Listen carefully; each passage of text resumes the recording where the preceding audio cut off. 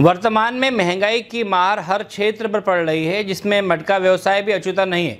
गरीबों के फ्रिज यानी मटकों पर भी महँगाई की मार पड़ रही है। गरीबों की तो मजबूरी है, गर्मियों में मटके का पानी पीना, लेकिन अमीरों का शौक भी मटकों से जुदा नहीं है। बीते लगभग तीन वर्षों में कोरोना काल के दौरान मटकों के व्यापार में काफ़ी गिरावट देखी गई। इस दौरान वर्षों से मटकों का व्यापार से जुड़े परिवार पुश्तैनी खेती करने लगे।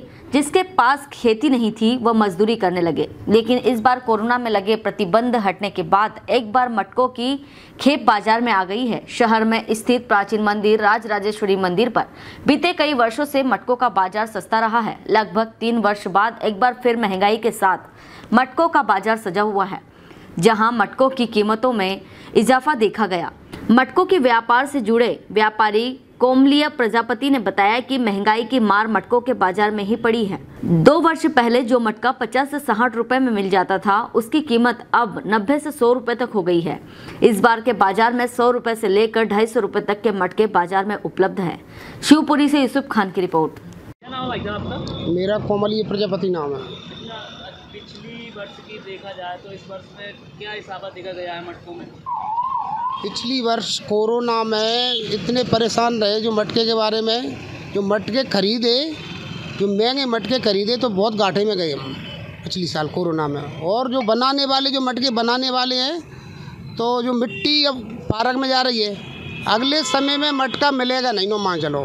अभी हम खरीद के ला रहे हैं मटके, वो बना रहे हैं सौ सौ रुपये का मटका टोल पे से उठा रहे हैं, और उन्हें दो चार फूट जाते हैं, और झेपे ला के मुश्किल से पेट का गुजारा हो रहा है दस पाँच रुपये की मिलती है मटके पे। पहले मिट्टी और ईंधन कंडे कदों से लाए हाँ। गधों से लाते हैं अब पार्क में अब पार्क में नहीं ये मोल लेते हैं। कंडा दो रुपये का एक कंडा लेते हैं मोल। काय से ला रहे हो वाहनों से ला रहे हैं अब। गधे ही नहीं है। चारा कूड़े नहीं है गधे न कुछ नहीं है तो। वाहनों से ला रहे हैं बेचारे मोल ले रहे हैं कंडे। भाड़ा लग रहा है तो महँगाई हो रही है ना।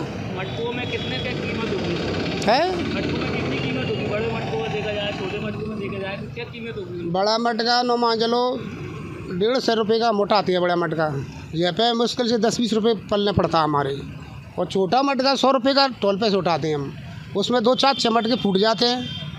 मैं बताऊँ दस पाँच रुपये हमको मिलते हैं। और बना छोटा मटका देखा जाए तो उसकी कीमत क्या रहेगी? सबसे छोटे मटका सौ रुपये का चलेगा। हाँ जब भी दस रुपये मिल पाएँगे मुश्किल सेवा में